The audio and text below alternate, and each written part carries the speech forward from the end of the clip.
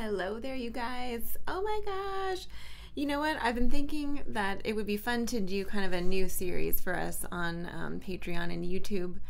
And that occurred to me after doing my last live stream with you guys on YouTube. It was so fun to just sit down and and just have a little natter together and just kind of ramble about stuff.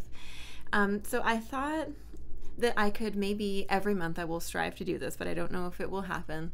Um, it would be fun to sit down and, of course, tell you the events for the month that are going on with the studio.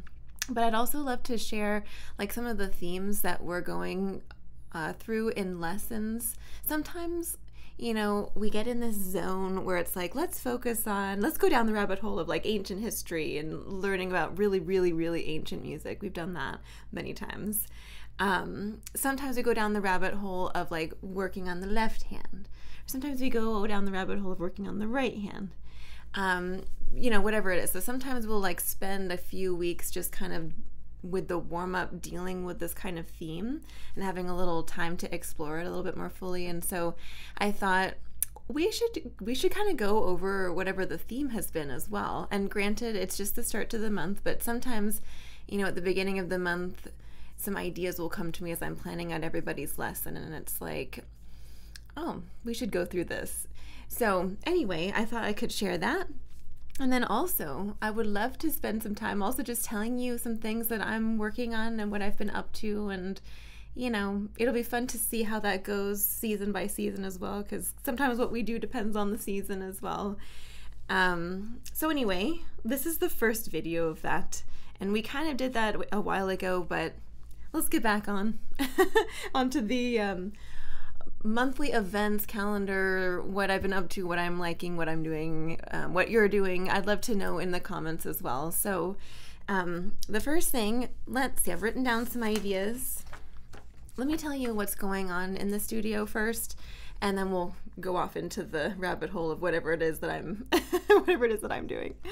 So, if you're interested, so the first thing I think is the calendar. So it's July, it's 2023 July and it's July 10th today. And um, last Thursday, we had our first violin group class. I need to change it because it's no longer really a violin group class, it's a violin viola group class.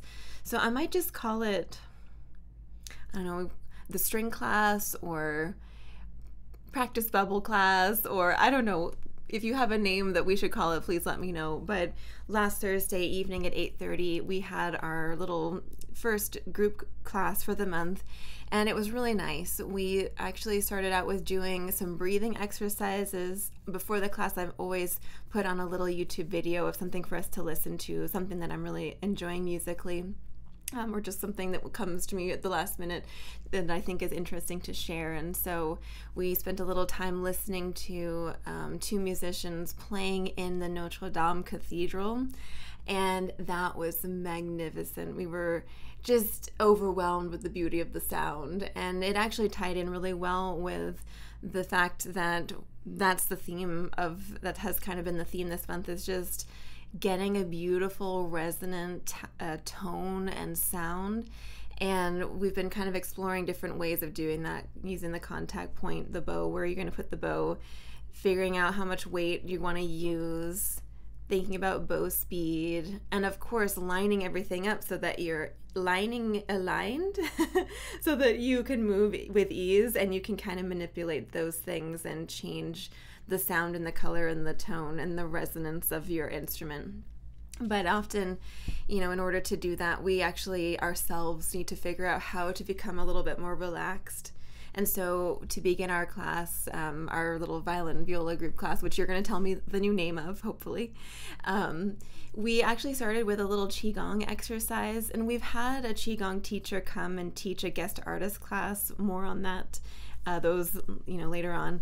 Um, and I actually would love to have him come back but um, his name is Mark Forgetting. he's a wonderful Qigong teacher. He's my Qigong teacher back in Arizona when I used to live there. Um, anyway, so we did this little Qigong exercise before the class started where you just put your fingers together, put your hands together, and it's like you open a book and then you fold your knuckles together and you rotate around like this, and you just kind of go like this. And it's a nice little exercise where you're kind of letting go of stuff. And if you go the opposite way, instead of opening the book to look at you, you open the book away and you're scooping up the good stuff, you're bringing the good stuff forward. Um, and especially if you tie your breath to it. So if you imagine, you can do all sorts of things. You could do a four-fold breath where you breathe in for four, hold for four, exhale for four, hold, and then hold for four. Um, or you could just do a one rotation and then a very slow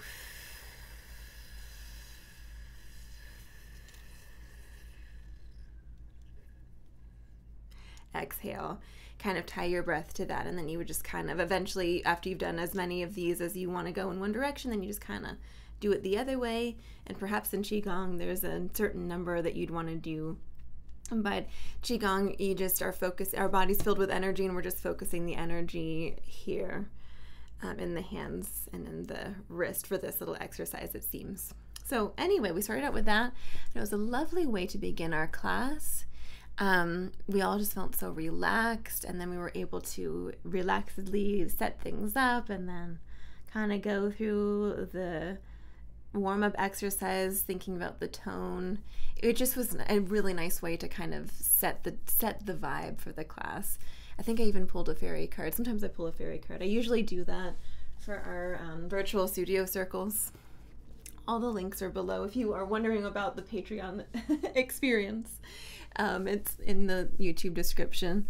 Um, but anyway, so so that was our first class for July, our first violin viola class of, of July. It's in the evening, and our next one is going to be on Thursday, July twentieth and they're lovely because we have a little thing that we do together but then i also kind of divide the the lesson into practice time and you know five ten minutes of practice time where you can actually practice whatever you want to do. So you can get a little practice into but there's kind of a little inspiration for you from moi to help us kind of you know just get in in the zone. And it's fun to have a little community practice session especially if you bring a cup of tea or like I was rambling about um, on the little short, bring some chocolate raisins, and then whenever you do something really well, you can have a chocolate raisin as a little reward. You know, whatever you want to do. You could bring a, a little glass of wine or whatever.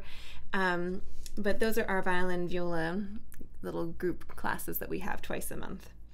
Um, and like I said, the next one is on July 20th, which is a Thursday at 8:30 p.m. Eastern Time. They're always at 8:30 p.m. Eastern Time every other Thursday. So the following Thursday, which is July 27th, we've got our guest artist class for July with Alexander Kislitsyn. And he is an amazing, amazing violinist, violist, music producer, performer. Um, he's just really a, and such a kind and sweet and interesting person. I'll have to link his Instagram and website below. Um, but he's going to come to a, uh, come to a class with us on Zoom and talk about basically a lot of things, but the, the transition from being a student to being um, a performing artist. And because, you know, the path really isn't laid out for us as musicians, we become very highly trained in, in our instrument and we never really think about, you know, well then what are you going to do with it you know? It's like oh well play in an orchestra but it's really hard to get a good job in an orchestra. And um, it can just be very expensive to be able to go and take orchestral auditions. It's very time consuming and soul soul crushing to do that. Um, but anyway it's just uh, th- there's not really a clear path for us and so he's really chiseled out a really interesting corner of the universe for himself um, and he's done some very interesting things and just is growing and flourishing and i want to know you know what he's been doing and more about what he's doing with his instruments. He's got these electric instruments as well. He's an amazing improviser. I have no idea how he learned how to, how to improvise. It's just like so wonderful his grasp of of just music. It's like he's fluent in all these languages musically as well. So um, that will be on Thursday, the 27th of July at 8:30 p.m. And actually, all these classes are recorded, so if you can't make it live, you can always listen back to it later. But it's better if you're there live, because then we can all be in that little vibe together. And then um, our virtual studio circle is the last Friday. It's usually the last Friday of the month, so July 28th at 7:30 p.m.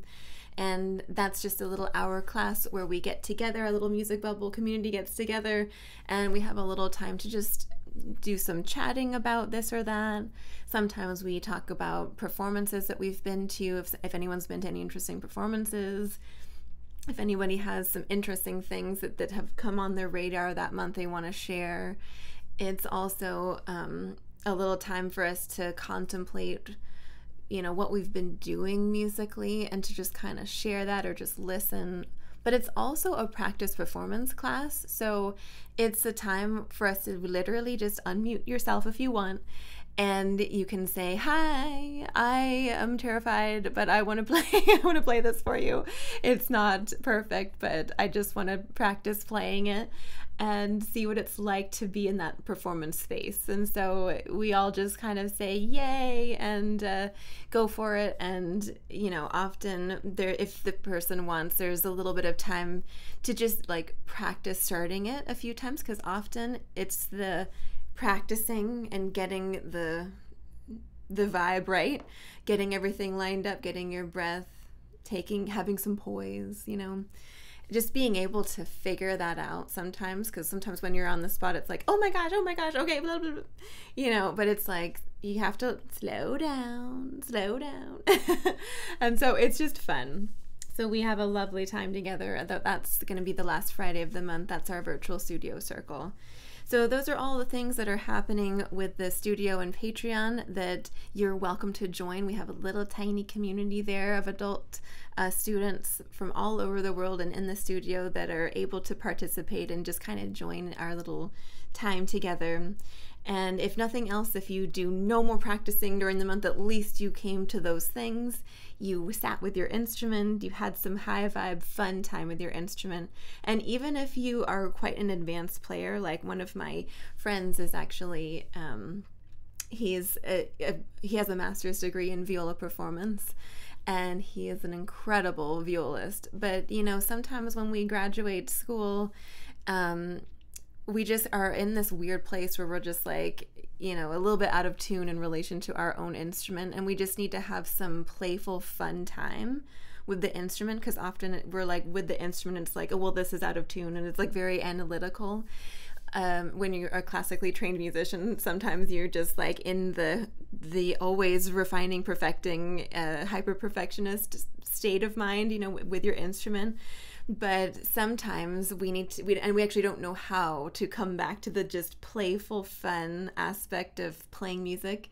Um, i know that happened to me. So so you can join it even if you are quite an advanced player. You don't have to just you know you don't have to just be on the beginning track to join any of the classes. So because they're just fun it's just having fun with music learning and uh, having a little community time together. So um, anyway let's see. Those are the things that are going on this month like I might have mentioned, one of the themes that we've been working on is our sound. I think I did talk about that. I've been rambling for a while now. I hope this is recording. It is, okay. um, so, yeah, tone. Tone has been something that we've been thinking about a lot. And so, in lessons, we've been just starting out with like five minutes of trying to breathe and feel what it feels like to put the instrument up, just sit there with the instrument for a couple breaths, you know, kind of get in violin or viola mode. And then we start to play with certain things like the contact point. Um, so we'll run through like a couple reps where we're just like playing with a little bit of bow, for example, relaxed, a little bit of bow, but just at closer to the bridge and see what that sounds like on your instrument. And then we'll do maybe some reps where we're on the opposite side, so we're closer to the fingerboard and just using a little bit of bow and seeing how we have to change the weight and the speed to adapt to the different contact pointers. Sometimes we're more between in the middle, between the bridge and the fingerboard, and sometimes we're at the frog, and sometimes we're at the middle, sometimes we're at the tip, sometimes we're using the whole bow. So we're just having a little time to play around with the what kind of sound you're getting in different areas of the of the bow, juggling, contact point um, bow speed and weight and our own, you know, relative ease on the instrument, trying to find some ease, you know. Um, but as far as things that I've been doing, let's go down that rabbit hole. So, um, I've been trying to, last month actually in June, I started realizing that there's a lot of things that I am trying to do every day and not able to do every day. And I just wanted to like figure out how to track the things that I wanted to do better. And if you're if you're in our little community, you know that I love the idea of a gold star I always loved stickers. Oh my gosh, as a child, I one of my earliest memories is stealing all of the stickers from my nursery school uh, teacher, and I felt so terrible, and she was so upset with me, and I was just like so happy, like putting the stickers everywhere, and um, and then she was very upset and very angry with me, and I just um, anyway, I've always loved stickers. I also remember in sixth grade, my teacher in sixth grade had like a little um, thing on our desk. And if we did our homework very well, he would give us a beautiful sticker. Or if he if we did something very very well, like excellent, you know, we did something that showed excellence, um, he would give us a, a, really wonderful sticker. And if you got so many stickers by the end of the month, like you got something, I don't know. It was a great way to motivate the class.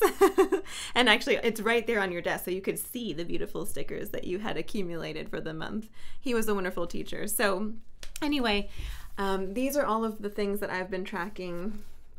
Um, and you can see I have I've been using the this this is um, just like a little thing you just tear off and um, you can circle what month you're in. You can put what the habit is and then you put down, you know, these are all the days of the month. So you can put two little habits that you want to track. It's just really easy. And what I do is I just tape these to my desk and I use some gold star stickers to actually just track if I'm spending any time at all um, so even if it's just like five minutes, I think I would at least want to spend five minutes on the task because um, I know that even if I just spend five minutes giving some attention to the thing that I'm trying to like keep in my life, it's better than not doing it at all because then it's not really in my life as much, you know. So I just want to be able to keep track of what I'm doing and how much time I'm spending with things. So um, at the end of June, I decided that I wanted to just kind of track my calories a little bit more because I, my clothes have been feeling a little bit tight, which is not a nice feeling to have in the summer. And so um, I just kind of wanted to stay below a certain amount of calories. And so I've been tracking those. So that was helpful. And the nice thing is that, like, once you have a bunch of stars in a row, like you succeeded in tracking and staying below a certain number of calories, you want to kind of maintain it. And so it's been nice. And then I also I'm exploring audio recording, um, not just video recording, but like audio recording. I'm working on some projects with uh, recording, and I also have my project where I'm writing a book of songs for you guys, magical musical songs. And so, one of the ways that I'm at this point in my process of writing the songs is I'm editing them. And so, it helps me to actually record the parts in GarageBand and then listen back to it and I'm able to kind of tweak things or notice, oh, this needs like more of an intro or this needs more of an end or I need to kind of wrap it up better or this is kind of boring or it helps me like put in dynamics and things like that. So um, I've been working on recording audio stuff, but I've also been working on um, my book. And so those are two separate things, but kind of related. And so I separated them and that's been nice to be able to see my tracking on that. And then also, of course, recording videos. Recording videos is very important for um, for my business because a lot of you meet me just from YouTube, and um, so I want to make sure that my content for you is interesting, and I'm you know always kind of putting things out uh, to some extent. Of course, Patreon is where everything comes out weekly, guaranteed. YouTube, sometimes I forget. I'm so sorry, you guys. Sometimes I just need to get back on the ball of making sure everything comes out every week for you. Um, and of course, it'd be nice to do a monthly live stream like we talked about in the live stream, the last one that we did. So I'm also tracking playing my instrument, playing the viola, playing the violin, making sure that I actually do that. Um, and then exercising and learning French. So, one of the cool things that I've done with um, learning French and exercising is that I use my tablet and I just go to the Babbel app, which I love Babbel, and I just put this on my treadmill and I just go for a walk and I practice my French and go for a walk for 30 minutes. So I'm getting 30 minutes of French in, usually um, almost every day. And that's been a really good way to actually combine it because I notice like if I'm just sitting on the couch doing my French class on Babbel, it's not like retaining in my mind as well. Whereas if I'm walking, it's kind of a different physical state to be moving. Your brain is working better. Um, and your memory, you're actually able to remember things a little bit better when you're moving for some reason. I don't know why. Um, but that's been awesome. So I noticed that actually combining those two things together, you know, in that book, Atomic Habits, where is that? Um, Atomic Habits. Oh, here. Oh, well, I can't get it because it's there's a lot of books balanced on it. There's a great book, Atomic Habits, which you could listen to on Audible or you could, um, uh, you know, get the book. But one of the things he talks about is is seeing if you can kind of combine things that you want to do. And that's been neat like you know when you brush your teeth you could do a couple squats for example or you could like walk in place get a little bit of extra movement. So that combining the habit of already brushing your teeth with just moving a little bit you kind of get two in one. So that's been very interesting um, with my exercise i try to do kettlebells or some kind of weight three three to three times a week um, I try to walk. One thing I haven't been doing for some, I think I just, um, I've been having some physical issues.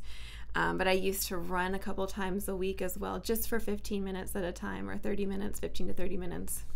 I stopped doing that um, for about a month and a half. Just I've been having some physical issues. And um, I would really like to get back on track with that just because I'm feeling a little bit better. And uh, I notice that when I'm when I do my run, I listen to music and I do a lot of exploring with music and I can like t- get in the zone with the music so much better when I'm actually exercising. It's like um it's like a wonderful relationship with the music that you get when you exercise. And so I miss that. And uh, anyway, so that's been that. I've also been, um, oh, there was something that I I oh, Audible. I, I have always been a big fan of Audible. Um, and one of the things that I'm listening to this month is uh, it's from the Great Courses, and it's uh, it's called um, oh my gosh, Audible. Is it on my tablet? Uh, I'll, I'll have to link it below. But in fact, let me just write that down. Audible. Forgot to write that down here. Western history. It's a it's been a it's like a class on on um, Western history, and that has been so fascinating because I love. I've always loved the like origins of Western culture. Mu- like uh, classical music is like something that has come out of the Western culture, and um, so much beauty has come out of the Western culture and the Eastern culture, all cultures. But I'm specifically listening to this course on Western culture or Western history. It's so good. It is so so good. This professor professor that's teaching the course. I mean, first of all, this course from the great courses would probably be like several hundred dollars, but on Audible, uh, it's like fifteen dollars a month for Audible, and um, I'm able to listen to this like 40 court 40 out 40 lectures. It comes with a great big pdf of all the things from an amazing professor and so that's been really awesome. I've loved listening to the to that. Um, but as far as other books i don't know what happened to the um, cover for outlive. Outlive i kind of have been reading. I stopped reading it uh, because i've read it like three times.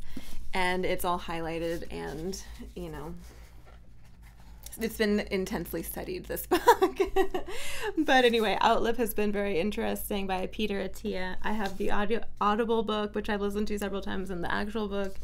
I've told all my students to read that book. Um, I came across the author Damien Echols listening to a podcast recently, and I absolutely love Damien Echols. Uh, he has a wonderful YouTube channel, and his book is so fabulous. His book is called High Magic, and it says A Guide to the Spiritual Practices That Saved My Life on Death Row. And um, I, one of the charities that I support is just with my tiny amount of money as a music teacher. There's two of them, but one of them is um, the Innocence Project. So I guess it's like five or ten dollars a month that I contribute to the Innocence Project, and the Innocence Project is about um, trying to free wrongfully convicted people, people that are actually innocent and on death row or just have been in jail for 20 years and they were, you know, they're innocent people. It, there's so many people actually that are innocent that are in jail, which is horrifying. And so um, the other one I support is. Um, oh, what is the name of it? It has to do with like helping um, people that have been human trafficked or or um, you know, like horrible things that happen, child slavery and all that kind of thing, human trafficking. It helps people that are going to do things about that. So, what is that called? Anyway, love this book, High Magic. One of the things that he's been going over in this book that I've been reading so far is talking about um, just like a daily practice of breathing.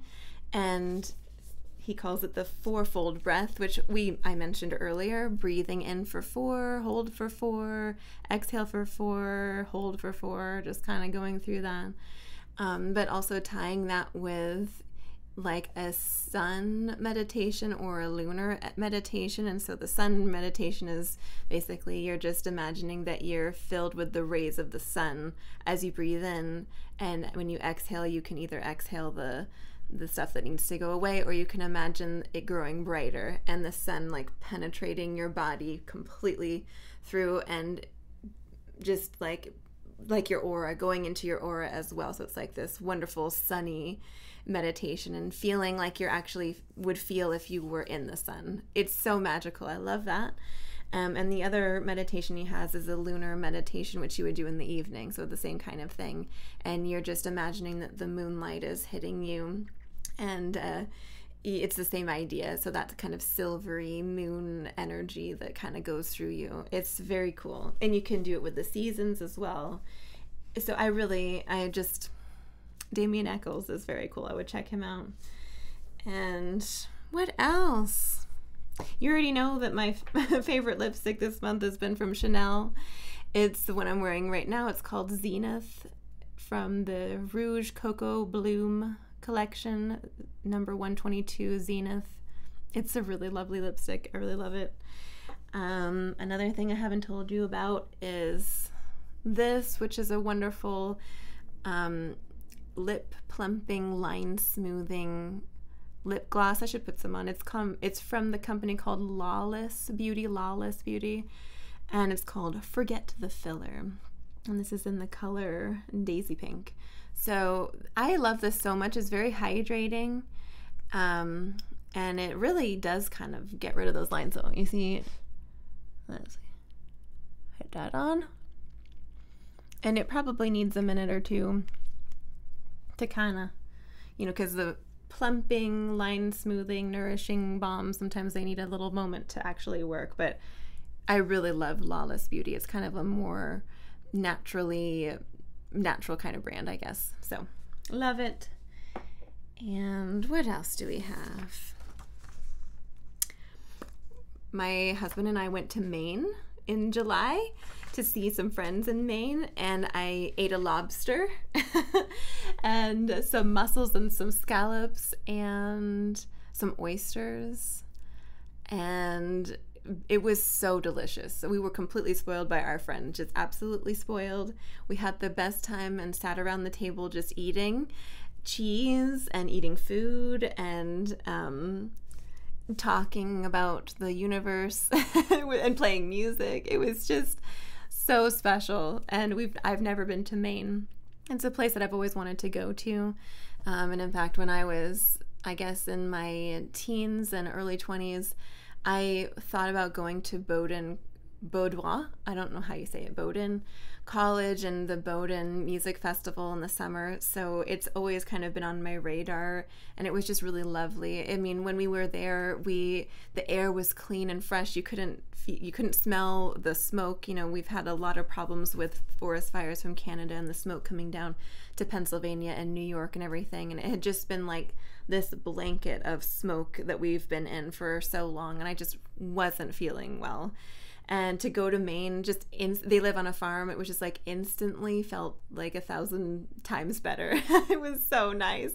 And at night, we could hear the crickets and like the nature sounds. It was just, and it was quiet and it was dark. It was just so magical. It was just so, so magical. And then um, our friends are just very special, very sweet. Um, just it was just like I it was just like being in Avalon, being uh, surrounded by fairies. I felt like I was whisked away, and whenever we when we came back, I just felt so rejuvenated, just so rejuvenated after uh, being there. So that was very special, and we can't wait to go back. so, um, anyway, I think those are all of my updates. There's so many things I've been rambling to you about. Uh, let's see, 30 minutes I've been rambling. So, you guys, thank you so much. Um, so, I, I hope that I can do one of these little sit down, rambly, monthly kind of videos. Um, and I'd love to know what you've been up to this month. Uh, have you been reading anything, or are you also an Audible fan, or what's been on your mind? Um, or do you have any projects? Do you want to start tracking your projects too, a la violin viola masterclass style? Um, have you been intrigued by Audible? I love I love Audible and Babbel. Have you ever wanted to learn a language? I mean, Babbel is so cool. They even have podcasts and games and things. Combine it with walking on the treadmill. It's it's uh, fantastic. Um, you guys, I hope to see you soon. I would love for you to check out the Patreon links below um, and pop over there and see what's cooking over on Patreon. I really appreciate the support there, and the community that we have there is tiny and special, but there's room for it to grow um, into something that's a little bit bigger. So I would love for you to check it out and come and join us. Come join some of our little classes have some fun, and um, I let me whisk you away into into fairyland, and we'll have a great time. Lots of love, you guys. Take care. Bye bye.